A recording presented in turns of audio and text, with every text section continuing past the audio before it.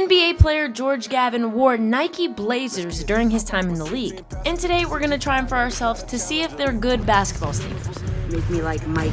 Defensively, they were great. They had great grip, the ankle support is great on them. There is no cushion under the shoe, so you do feel a little flat footed, which in turn caused a lot of pain in the inside of my foot, so I would not recommend playing in these for a long term, especially a full game. I give them a solid 5 out of 10. Now, as always, enjoy me cooking.